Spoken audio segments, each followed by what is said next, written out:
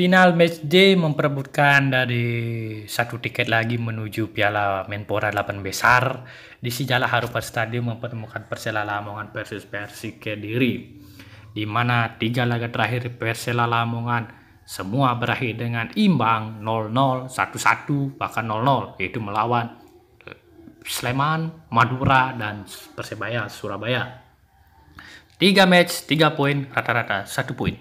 Kemudian Persik Kediri tumbang melawan Persebaya 3-1 2-1 kemudian kalah melawan Persik eh, PS Sleman dengan skor tipis 1-0 dan menang versus Madura United sebanyak 2-1 tiga pertandingan dua kali kalah satu kali menang. Tiga poin rata-rata satu poin per match.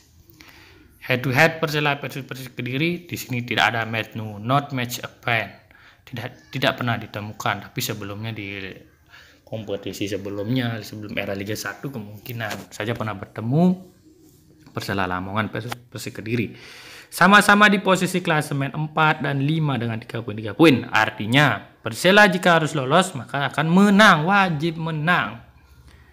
Dengan catatan Sleman kalah. Persik Kediri juga begitu harus menang. Dan Sleman kalah jika mau lolos ke fase selanjutnya Skuad dari Persela Lamongan bisa dianalisis sebagai berikut.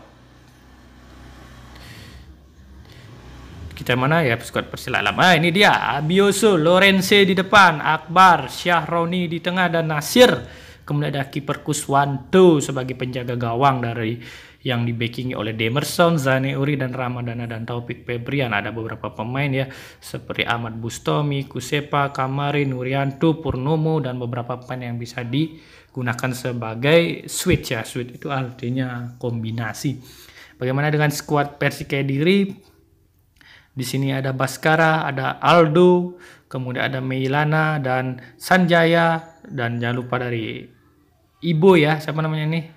Lupa Andri Ibu yang terakhir mencetak gol lawan Madura United ada Sabil ada Syaputra dan Prastio dan masih ada banyak pemain ya seperti Nugroho yang telah mencetak gol Antonio Putro Nugroho yang sebagai gol dari apa namanya uh, kemenangan dari uh, Persik Kediri di melawan Madura United sebelumnya.